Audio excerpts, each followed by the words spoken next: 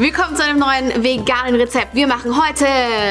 Vegane Hef Hezopf? Hezopf? Wir machen heute einen veganen Hefezopf. Hefezopf. Hefezopf in vegan. Also bei uns in Österreich nennt man das Stritzel. Und den machen wir heute in der veganen Variante. Und in den veganen Rezeptvideos gibt es ja auch immer die Wahrheit oder Pflicht Challenge. Das heißt, ich habe heute wieder ein paar schöne Zettelchen. Bin ich gespannt, was da so gepickt wurde Auf von denen- euren Kommentaren. ne? Ja, ja, genau. Ihr habt ja Sachen vorgeschlagen. Ich bin sehr gespannt, was ich heute so für Wahrheiten erzählen muss und was ich heute für äh, Pflichten erfüllen muss. Also letztes Mal war es auf jeden Fall ja schon ordentlich. Kanalübernahme, kleiner aber Peter ab sofort. Liebling, du siehst heute aber bezaubernd anders aus. Also ich bin wirklich konzentriert gerade. Ich tue es einfach. Okay. War schon gut vorgelegt, Ja, ja. ja, Mhm. ja, okay. Ich bin sehr gespannt. Ich freue mich sehr drauf. Also ich finde das ehrlich gesagt mit den Wahrheit oder Pflicht, das macht richtig Spaß. Ich freue mich immer besonders auf diese Videos. Von daher würde ich sagen, lass uns loslegen. Step 1 ist die Milch, die Sojamilch in den Topf leicht erwärmen. Es darf nämlich auf keinen Fall zu warm sein, weil ähm, die Hefe muss da ja gleich rein. Es muss also genau die richtige Temperatur haben, damit die Hefe geht, aber darf die Hefe auch nicht kaputt machen. Wir müssen jetzt echt aufpassen, Peter. Du weißt, wie das ist, ne? Mit mir und Hefe. Das ist, das, ihr steht auf Kriegsfuß. Jetzt kommt der Zucker rein, von dem brauchen wir 20 Gramm und dann kommt die Hefe dazu. Ja, das sind 20. Und die Hefe. Okay, jetzt müssen wir warten, 10 Minuten. Und wenn das schäumt, weißt du, so wie beim letzten Mal, dann haben wir alles richtig gemacht. Während wir auf die Hefe warten, kann ich einen Zettel ziehen. Kannst du eine Zelle ziehen? Okay. Bist du ein bisschen nervös immer jedes Mal auch davor? Ja, Oder? ja ich bin Weil auf jeden Fall immer ein bisschen nervös davor. Weißt ja. ja. nicht, was dich da erwartet, ne? Definitiv, ja. Wahrheit. Wovor fürchtest du dich? Also, oh, interessante Frage. Sehr Wofür gute Frage, sehr gute Frage. Ich fürchte mich davor, ich fürchte mich vorm Sterben. Das, davor fürchte ich mich, also vom, vom Tod fürchte ich mich, würde ich sagen. Und ja, viele Leute sagen ja, hat nicht jeder Angst vorm Tod? Nein, ich kenne auch Leute, die haben keine Angst vorm Tod. Da möchte ich auch hinkommen. Hast du Angst vorm Tod, Peter? Mm, Nicht unbedingt, nein. Siehst du? Würde ich sagen. Hast du keine Angst vor deinem eigenen Also ich Tod? hätte, ich hab, muss sagen, wenn du mich fragen würdest, ich habe Angst davor, krank zu werden. Mhm. Davor hätte ich eher Angst, als davor jetzt unbedingt zu sterben. Weil ich glaube, danach ist es nichts, es gibt nichts, wo es da sich zu wo fürchten man sich gibt. Angst, wo man Angst vor ja, hat. ja, das Ungewisse halt, Das oder? Ungewisse, oder? ja. Was, was, ja, was das gibt's danach so? Was ja. ist... Ja, dass man dann nicht mehr hier ist. So. Fangen wir gleich richtig deep an mit dem Video. Ja, Lass mal noch einen zweiten Zettel ziehen. Habt ihr Angst vor Tod? Könnt ihr ja auch in die Kommentare schreiben, Ja, würde schreibt mich das mal in die interessieren. Kommentare. Mich würde es auch sehr interessieren. Beziehungsweise, wovor fürchtet ihr euch? Pflicht. Reverse Trash Talk, du versus Peter. ich kann das zu jeder Tageszeit. Also, Reverse Trash Talking kommt aus dem Wrestling. Im Wrestling ist es im Großen und Ganzen so, dass die Leute sich ja immer gegenseitig aufstacheln, damit sie sich im Ring nachher besiegen können. Allerdings, in diesem Fall dürfen wir uns nicht mit bösen Sachen beschimpfen.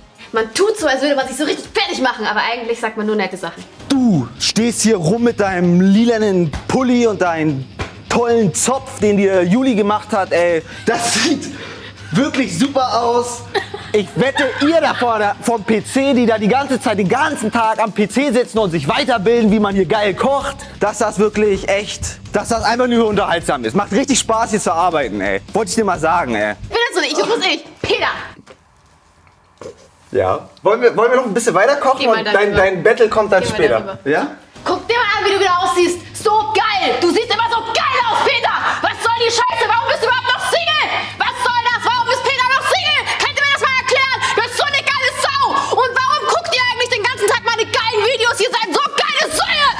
I love it. So irgendwie. Und jetzt abonniert den Kanal! ihr geilen Wichser. Und eine Scheiße, Scheiße darf man nicht sagen. Und jetzt abonniert diesen wunderbaren Kanal! Ja, Mann. Ihr seid der Hammer. Geht's dir jetzt besser? Äh, ja, das war irgendwie super weird. Das ist einfach so strange, ähm, gleichzeitig aggressiv zu sein, aber was Nettes zu sagen. Äh, sollte man vielleicht mal öfter probieren. Ja. Wenn wir das öfter mal machen sollen, Ja. schreibt's mal in die Kommentare. Okay, dann machen wir mal weiter hier mit dem Teig. Dazu brauche ich Mehl natürlich. Geht's dir gut? Nachdem ich dich jetzt so angeschrien habe. Also ich musste schon sagen, ich hatte schon ein bisschen so, also war mir schon unangenehm, so ein bisschen. Also, Hast du ein bisschen Angst? ja, ja, also, ja, doch, also ist schon ein komisches Gefühl so, weil... Dabei habe ich nur nette Sachen Ja, ja, gesagt. nur nette Sachen gesagt. Aber es ist halt Körpersprache, da sieht man mal wieder, Körpersprache Ja. symbolisiert mehr Ja, ein Gefühl mehr oder Ja. transportiert mehr als nur die Worte halt so. Ne? Ja. Offizielle Aufforderung an Simon, jetzt Ja. wenn er das Video guckt, dass du auch hier nochmal. Simon kann es auf jeden Fall Simon gegen Janik will ich gerne sehen. Simon gegen Janik. Oh. Das wird lustig. Ja, dann packen wir mal 500 Gramm Mehl da rein. Dazu kommt dann Zucker. Zucker. So, dann brauchen wir eine Vanilleschote, beziehungsweise das Mark aus der Vanilleschote. Das kommt hier auch rein. Die kommt jetzt auch noch rein.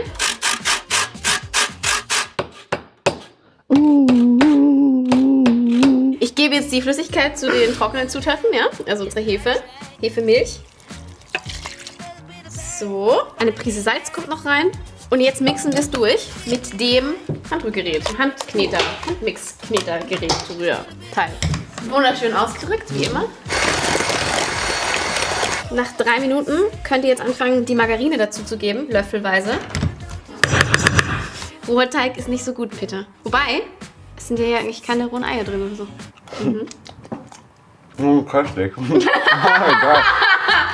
Das schmeckt doch. Schmeckt das? Ja, geht klar, es ist halt so Zopf. Sehr zuck zuckriger Zopf, so der schmeckt schon, ja. Okay, dann lass es uns jetzt abdecken und in den Kühlschrank stellen. Das muss nämlich ungefähr eine Stunde ruhen. Den Teig habe ich jetzt so 15 Minuten geknetet. Und jetzt kann er in den Kühlschrank. Und da muss er dann eine Stunde ruhen. So packe ich es in den Kühlschrank. Dann bereite ich hier schon mal mein Backblech mit Backpapier vor. Weil jetzt kommt der Teig raus und den müssen wir jetzt mal ausrollen.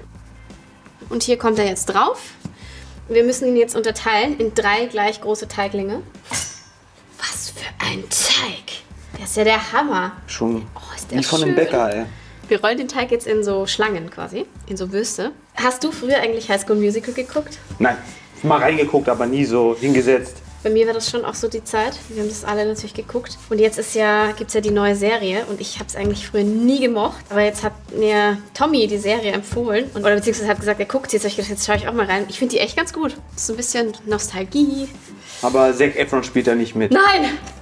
um Gottes Willen. Der wäre ein bisschen zu alt jetzt mittlerweile, oder? Naja, ich, ich, fand ihn einfach, ich fand diesen Film einfach ganz furchtbar. Also wirklich nicht Wie, welchen gemeint. Ja, High School Musical. Ah, ich du fand hast das alles auch so geguckt? cheesy. Ja, natürlich habe ich es geguckt, weil ähm, ich wollte ja mitreden können. Aber falls ihr die Serie, die High School Musical Serie gesehen habt, dann schreibt mir doch mal bitte in die Kommentare, wie ihr sie findet. Und ähm, ob ihr früher High School Musical geguckt habt, ob ihr das jetzt die besser findet. Ich finde die Serie nämlich besser als die Filme, muss ich sagen. So, jetzt mag, magst du noch ein paar geile, so Rom, äh, Rom.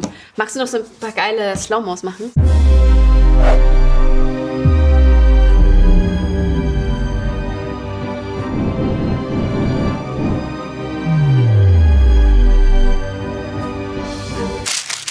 Okay, ich habe es jetzt hier mal schon mal auf mein Backblech gelegt, einfach nur, damit ich es nachher nicht irgendwie anheben muss und es mir dann so wieder, weißt du, blöd runterfällt. Deswegen denke ich mir, ich mache das jetzt hier. Und jetzt fange ich an zu flechten, wie du gesagt hast, Peter.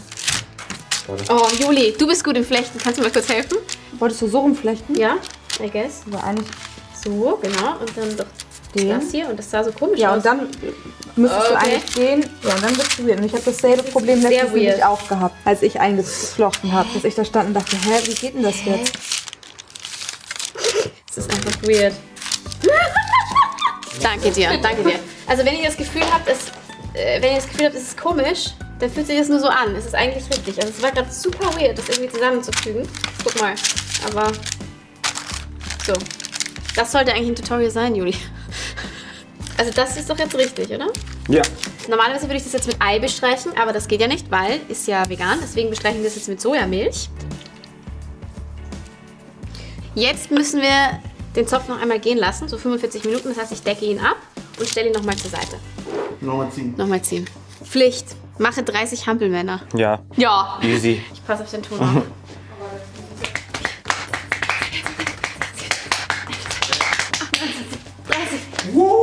Jetzt du?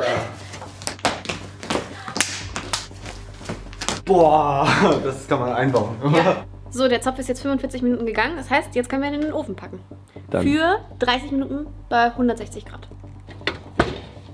So, ah. Puh, Alter Schwede. geil. Boah, ist das schön geworden, Peter. riecht. Toll, und der riecht so gut. Der duftet. Mm. Riecht mir an. Also auf jeden Fall optimaler Bräunungsgrad, ne? Das ist.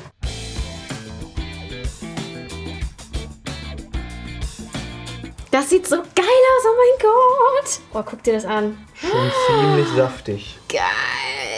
Oh, lecker. Mm. Mm, boah, ist lecker. Weißt du, wie gut das schmeckt, Peter? Schön süß. Also ein bisschen süß, ne? Eigentlich bin ich ja nicht so der Fan von Brot und süß. Hier, bitte, für dich. Geil.